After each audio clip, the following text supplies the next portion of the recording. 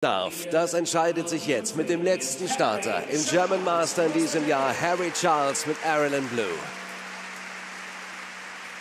Ja, und immer dann, wenn der Reiter vorher nochmal gezeigt hat, dass die Zeit des Führenden schlagbar ist und wenn der Reiter vorher auch nochmal so ein kleinen, kleines Mittel mit auf den Weg gegeben hat, wo vielleicht noch ein paar Zehntel übrig geblieben sind von der Zeit von Steve Gerdard, dann ist das nicht nur eine Motivation, dann ist das auch ein kleiner Erkenntnisgewinn, den er jetzt mit all seiner Routine trotz seiner jungen Jahre umsetzen wird. Harry Charles und Arilyn Blue.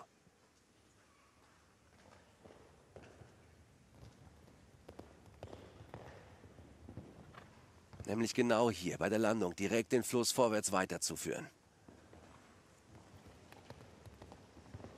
Und die sechs Galoppsprünge zu machen. Achtung. Und hier zu warten. Und dann nochmal den Fluss durch die Linkswendung zum Ochser mitzunehmen. Oh. Und neun Galoppsprünge braucht er jetzt zum Steil.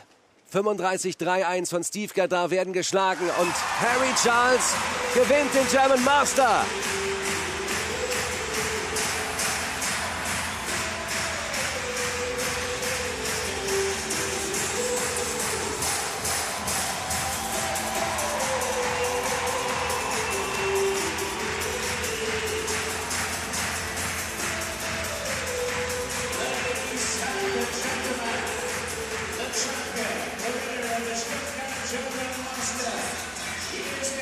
Oh, war das stark.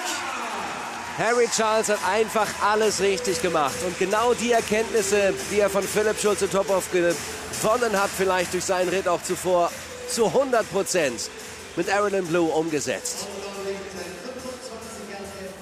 Der neue German Master bekommt hier die Anerkennung des äh, Einzeleuropameisters, den er geschlagen hat. Harry Charles auf Platz 1 mit 35,02 Sekunden vor Steve Gerda mit 35,31.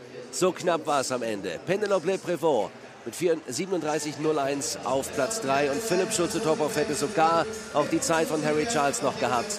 Schnellster Vierer und Philipp auf dem vierten Platz. Vor Pius Schweizer, Alain Juffer, dann Patrick Stühlmeier, Hans-Dieter Dreher, Marco Kutscher, Rick Hemmerich, Scott Brash und Kevin Jochems haben uns allenthalben einen sehr unterhaltsamen späten Freitagabend beschert im German Master 2023. Und das ist ja erst der Auftakt ins Wochenende. Morgen Abend zu Primetime auch nochmal ein internationales Topspringen über 1,55 Meter. Und am Sonntag selbstverständlich der Weltcup von Stuttgart. Für heute dürfen wir Ihnen noch die Siegerehrung anempfehlen und vielleicht noch ein bisschen die Stimmung mit nach Hause transportieren hier aus Stuttgart zu Ihnen über Klippenhorst. Würde mich freuen, wenn wir uns dann morgen wieder hören. Morgen Vormittag zu einem der internationalen Rahmenspringen und morgen Abend vielleicht dann zum Topspringen des Tages. Machen Sie es gut, bleiben Sie gesund und bleiben Sie den Pferden treu. Bis morgen.